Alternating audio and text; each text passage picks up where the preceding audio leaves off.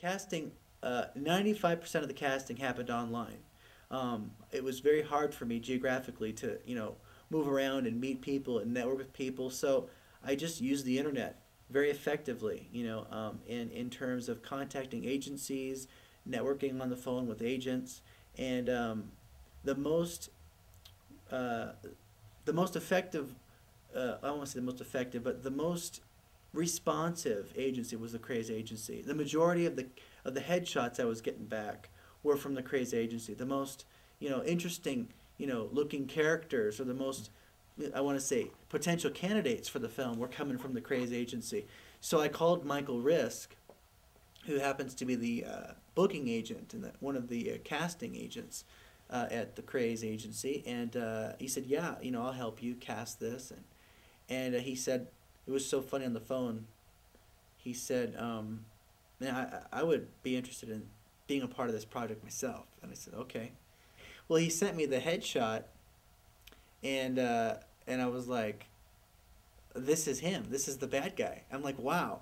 You know, a lot of directors are different. They got to go through many casting sessions. They got to go through many, you know, uh, read throughs and callbacks and callbacks. Well, when you're working with no money, you don't have a lot of like free gas money. You don't have a lot of free studio space to go and do these casting calls. So you got to really kind of work within your your means. And I mean, with the internet, anything is possible. So I did most of my casting online. You know, I casted Michael Risk was the first one who plays Vincent that I cast for the role. A day or two later, he sent over a headshot for Patty, or Patricia Mayer, and um, I said to myself, "Wow, this is her. I don't need to look any further." It was amazing. Um, the headshots that came in, I basically looked at the headshot and said, "This is the person I want." You know, and, and maybe maybe that's not the right way to do it, but I think that in terms of an audience member, in terms of what I want to see in a movie, casting the look that's really important to me. You got to cast the characters, you know, and a lot of people will cast differently to suit the talent needs. You know, I just I think it's wrong. I think you really need to cast and stay true to yourself, you know, on on casting. So working with Patty was very nice. I really enjoyed working with Patty. She is so nice and she's so calm and she's so relaxed and she was kind of like everybody's big sister on the set. I mean, you know, amid all the problems, the lighting problems, you know, the cast and crew, you know, uh, I would always look to Patty and she would just look at me and just be to- totally calm. And so she kind of brought the balance to the force, or I'm sorry, the balance to the, the set, you know, and, uh, but uh, Patty's character, you know, Lithia, was a very hard, hard character for her to play. We, we went through several script sessions where we were trying to solidify her feelings because you know women are so full of so many emotions but you can't film that. You can't film emotions of all sorts. You, you have to kind of harness harness it down to two or three emotions. So once we kind of figured out lithia's emotion and the roller coaster she was experiencing i mean here she's lost her you know her love of her life and there's this guy on the on the balcony shooting at them and i mean it was just like i can't imagine what kind of a character i can't imagine what would be going through her mind. And it was it was it was hard for her i think in some some cases to perform that to act that out and so i told her on the set you know just make this as real as possible this is this is like a documentary uh, you're not acting this is a, this is a real emotion, and, and she admitted it perfectly. And I think that I think her performance was dynamite, and, and everything came out well. Working with Michael was an interesting experience. Michael has a lot of uh, talent. He's very he's very meticulous, and he critiques himself quite a bit, which which is good. And uh, to an extent, you have to let your actors breathe. And so I felt like Michael needed some breathing room. So immediately when working with Michael, I said, you know, Michael, you, you're really into this character. I mean, you really like this character. So I'm going to let you and Vincent go talk to each other and figure each other out. And uh, Vincent was Michael and Michael was Vincent, like in, in the next week. And it wasn't even an issue. You know, like directing uh, Michael was was was was was really fun because he was always changing the lines, changing the performance.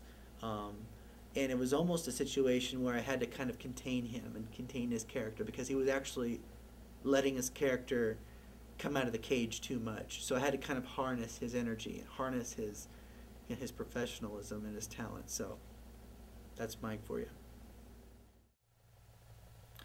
Chris Johnston. Working with Chris was a really good experience.